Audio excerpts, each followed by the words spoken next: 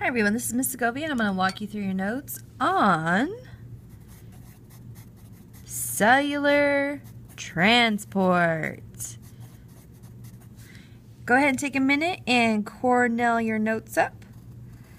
Don't go too big on your margins here because you're going to need them. And only leave a line or two at the bottom for the summary because you're going to need most of this page. So let's start out with the fact that we have a plasma membrane. So the plasma membrane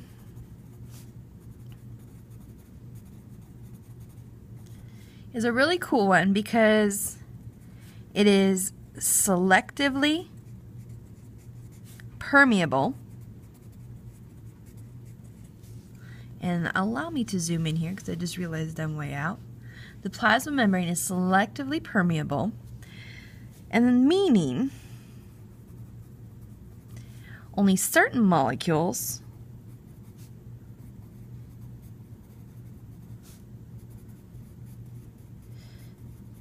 are allowed in and out of our cells. So are allowed in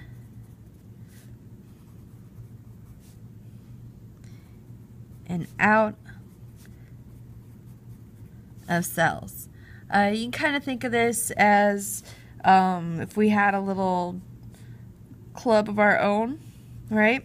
If you ever go out to the club, you've got this little guy here standing at the front, and he's the bouncer. And he says, B-O-N-C-E-R, sorry, I got He's the bouncer. And he's like, hey, you look cool. You can come in my club.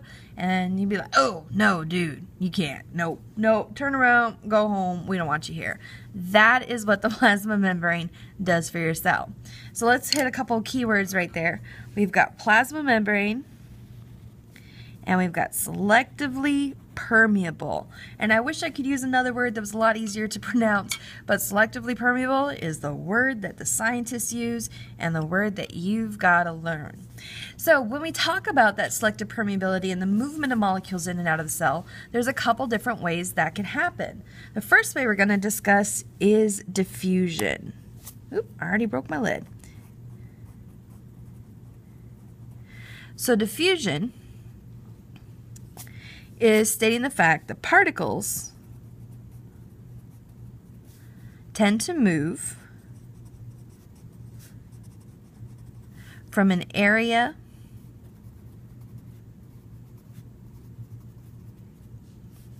where they are concentrated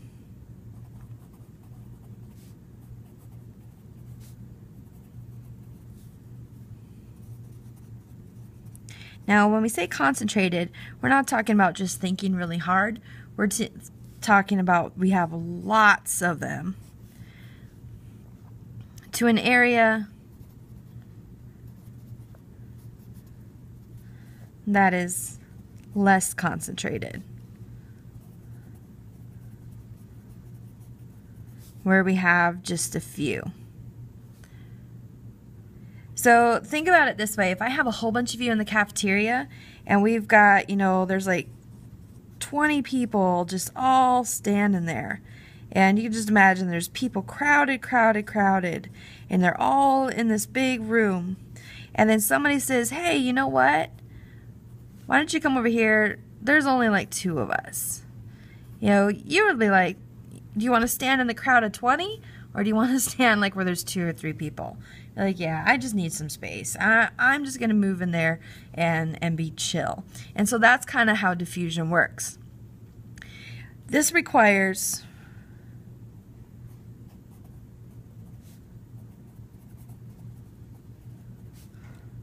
no energy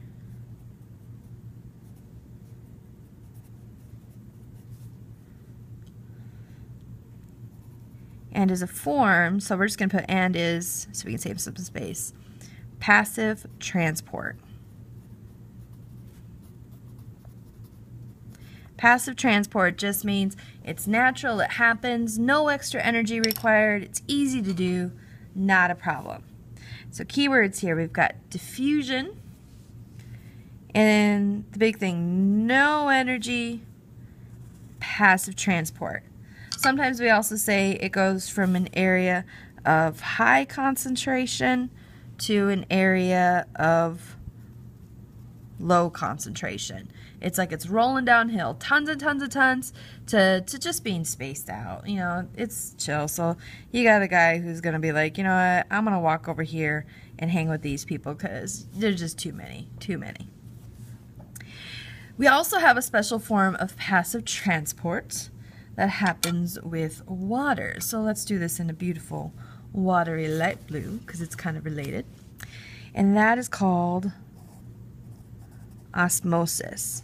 Now, a movie that's fun to watch but has nothing to do with actually osmosis is Osmosis Jones. But I know a lot of you have heard the word osmosis through him. So this is the diffusion of water. All right, so just water across a, here's that word again, selectively permeable membrane. Just got to get used to those big words, guys. I know they're they're hard.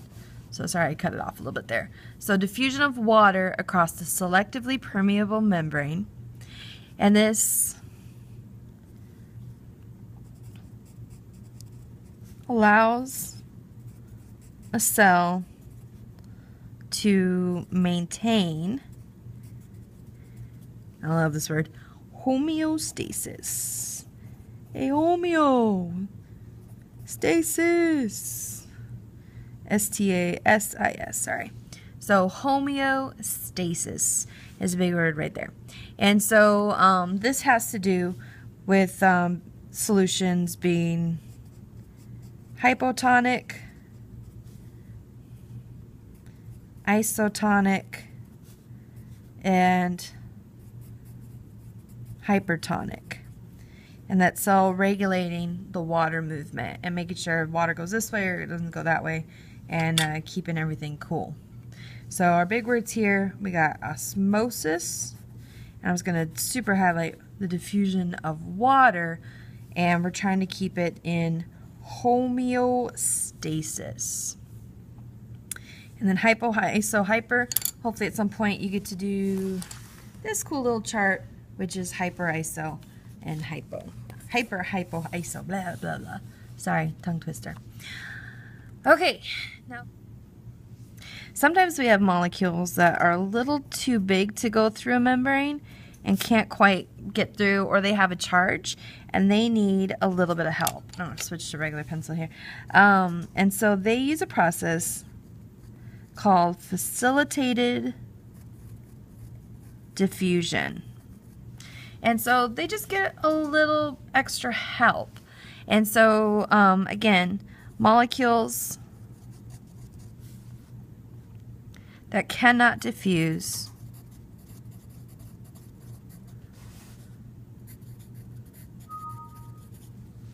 On their own.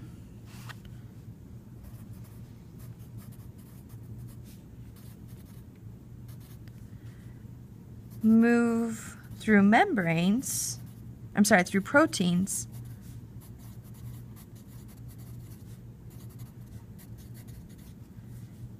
in the membrane. And so, um, zoom out just a touch there. All right, so facilitated. I know that's not showing up too good on the camera, so let me see if I can make it a little bit better. I had it oops earlier and had to white out. Um, so if we were to like draw a little picture of this, um, if you remember our membrane is the dual layer.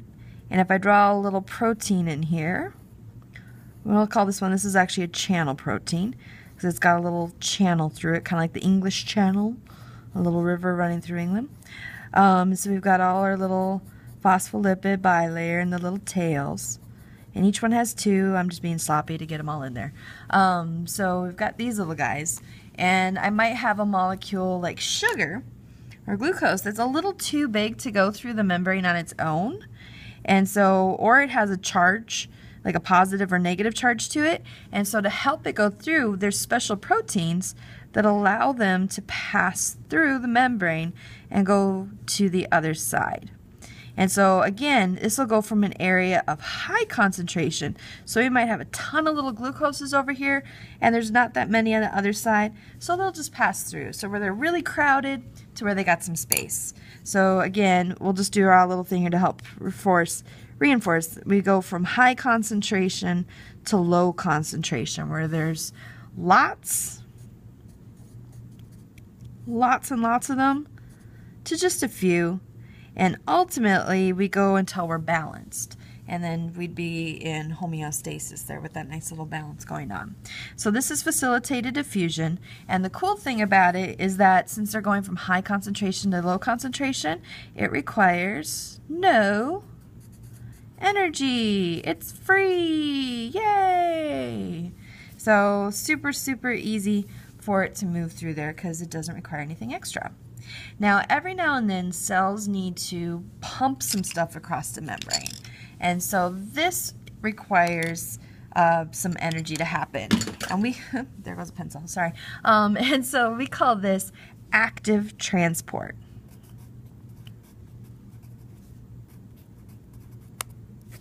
My bloods keep breaking. I write too hard. So active transport. Active transport is where we have um, proteins. We'll actually call these their carrier proteins.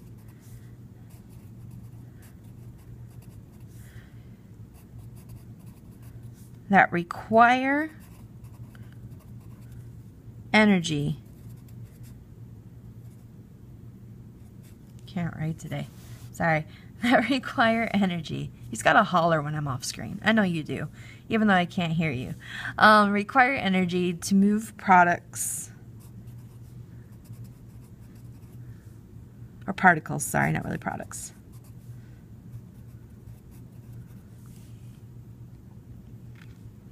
Against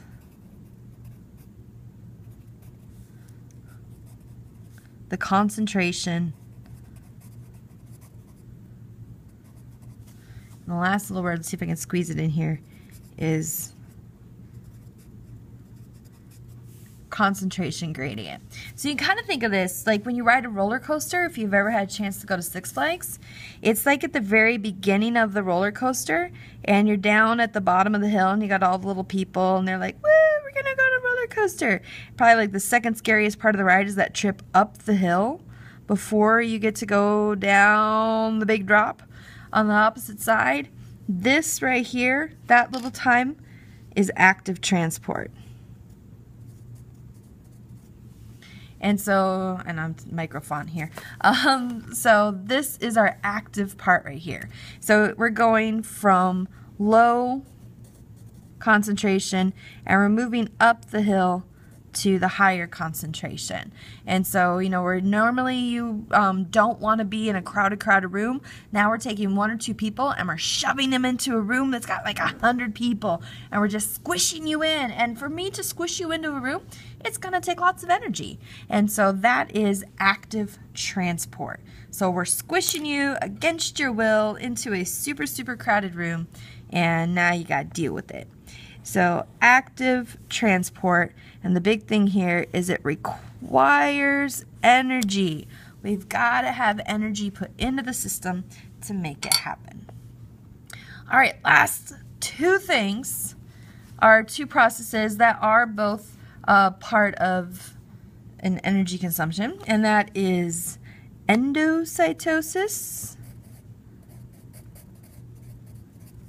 and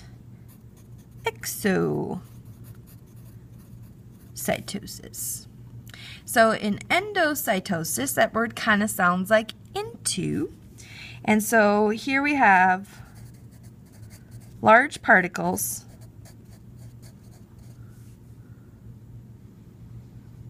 are, let me draw a little line here so I remember to keep these separate, um, engulfed. I love this word. Engulfed engulfed and enclosed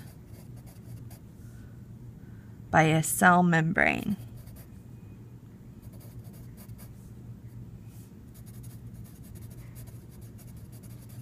And so if I draw this one, it's kind of like a cell. If I have this like cute little adorable particle and he's just like minding his own business. He's like, hey, I'm just a little particle hanging out here. Yeah, isn't life awesome? Isn't it great? And then all of a sudden it's like, da-dum, da-dum. And there's a great big cell. And he's like, oh, I'm going to eat you. And he surrounds this little guy and squishes around him. And ultimately, he goes and he'll pinch off a little bubble. So it would look like this. You have the membrane swallows him up. And our little guy is stuck in a bubble inside the cell. He's like, oh no, what's happened to me? I got engulfed by a cell using endocytosis. No! And the cell essentially will merge him with a lysosome and destroy him. Yay! And so cells use this to bring in food. They use it to um, destroy bacteria. All cells are awesome. And then cells also have the opposite process. Hold on. Okay, so in exocytosis, we have kind of the opposite thing happening where that little, like let's say it's gone and it's broken down, that little uh, particle, and the cell decides that, you know, we don't need this little cell, that this, this green blob that we just destroyed. You know, he was cute and innocent and whatnot, or at least he looked like it, but now we're done with him. And so it'll take all those particles and it's going to merge them with the outer cell membrane and it's going to expel them and spit them out essentially out into the world. So imagine here our cute little uh, bacteria. He's cute, but he's evil. He got swallowed up by a cell, engulfed through endocytosis. He was digested by a lysosome and broken down, and then bleh, spit out the other side. So let's go ahead and write that down because I know my story is fascinating, but you need a definition. So large particles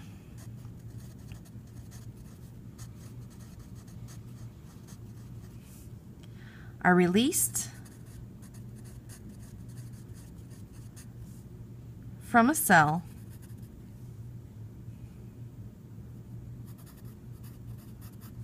by secreting, I love that word, secrete. Looks like secret, but it's got an extra E. By secrete, oh, it should be ing, sorry, secreting or expelling them out.